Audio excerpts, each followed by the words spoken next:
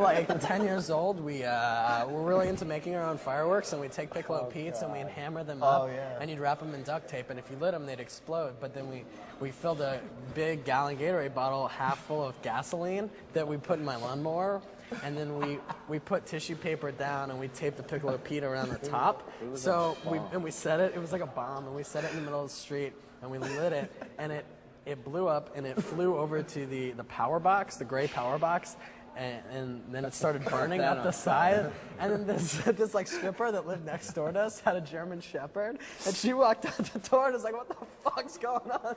The fucking power box is I was running away because I thought the thing was gonna explode. And then oh. and then she grabbed the hose She grabbed and the- she put it on and it made the fire oh. bigger.